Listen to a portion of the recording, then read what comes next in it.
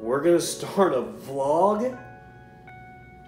I mean, yeah! We're gonna start a vlog!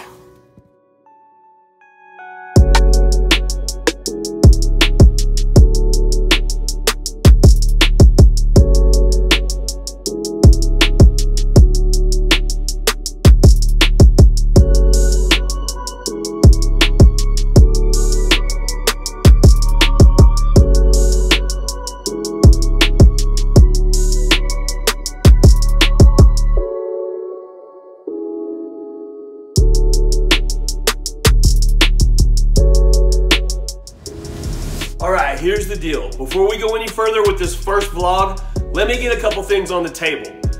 A, this is kind of impromptu. This is a plan that we came up with after I left Camp Shiner and kind of as Big Titty was leaving the country to go on his cruise. So, I gotta admit a couple things. A, I don't have all the lighting with me that I should have. Like, I don't have a key light, so I'm gonna make do with what we have around here. Also, I don't have an external mic with me. All of them are with Titty. He's got all the audio equipment with him. So I'm basically using whatever microphone and whatever audio, I can get off of my iPhone and off the DSLR when I use it. So, you guys, it's not like we think this is going to be the best audio of a vlog ever. I don't need comments about it. I don't need hearing about how, well, your audio sounds all amateur. I know. But we're to make do, man. That's what you do. Adapt, you overcome, and you get stuff done. We got an idea, we're gonna run with it. So we don't have all the stuff.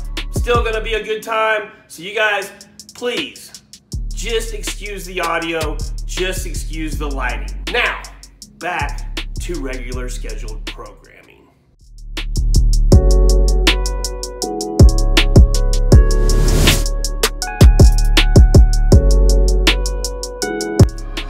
Okay, so here's the skinny.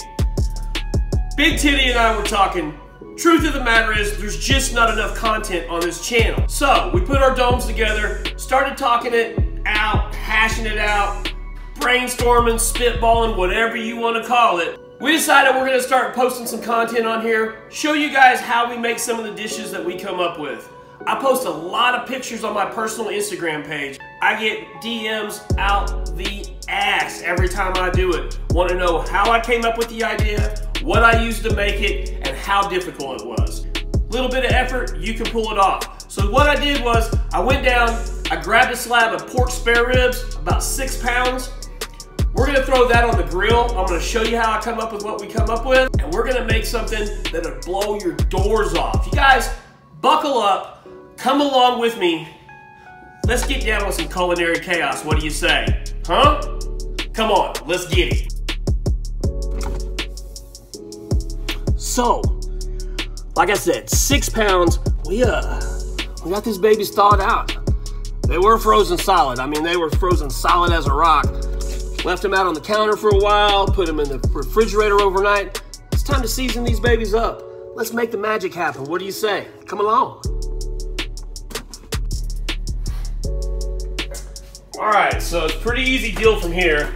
I got some foil out. I'm gonna just uh, wrap these up in foil overnight, stick them in the refrigerator before I smoke them in the morning.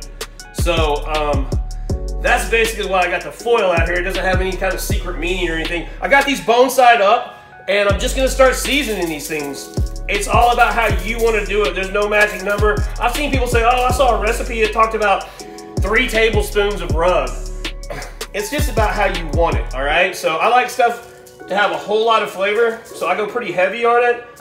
You know, and that's another thing is this stuff says, you know, um, rub on it, habanero rub. I think it's kind of deceiving. I read a, I read an article a couple years ago, probably longer than that, that talked about you don't really rub the meat once you get this stuff coated on there. I explained how it breaks down the proteins and does this and that to it. It made a lot of sense to me at the time.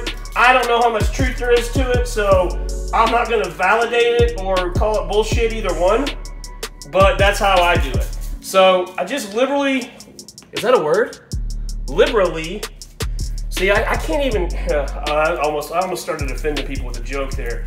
Um, I just liberally, I said it again, liberally get these things seasoned up and I do the bone side up first, just because it makes it easier when it comes to putting it on the grill. And then I get the other side real good. So let's get these babies seasoned up.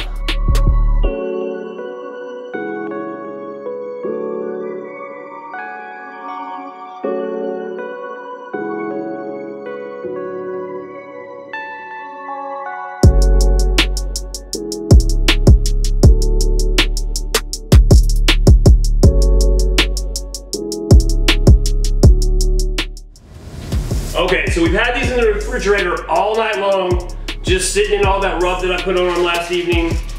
So what we're gonna do is, God, these look good. Okay, so the way we're gonna cook these is the 3-2-1 method, right? Don't start with the common. Smoking meat, ribs, whatever you're gonna smoke, it's kind of like bourbon, it's kind of like cigars. Everybody thinks that their brand and their way is the best. This is the way that I'm doing with these, so deal with it. We got the Traeger fired up. It's at 180 degrees. It's smoking away right now. We're gonna go three hours. These ribs are going on there bone side down. Then I'm gonna pull them. We're gonna wrap them back up in foil, throw them on there at 225 for two hours. Once that's done, I'm gonna pull them off again, unwrap the foil off of them, and stick them back on the smoker for one more hour. After that, we're gonna cut into these bad boys. We're gonna get down with them, and guess what? You are gonna thank me for learning how to do ribs this way.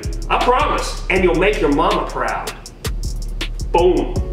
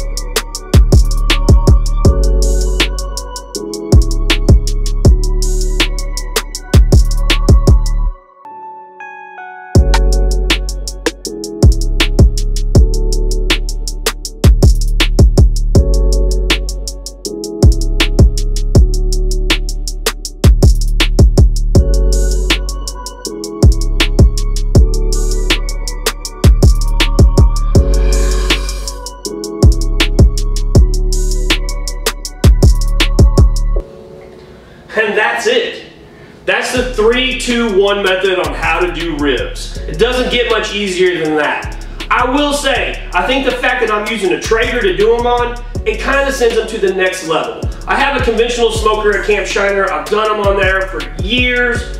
I've made some really good racks of ribs on that smoker.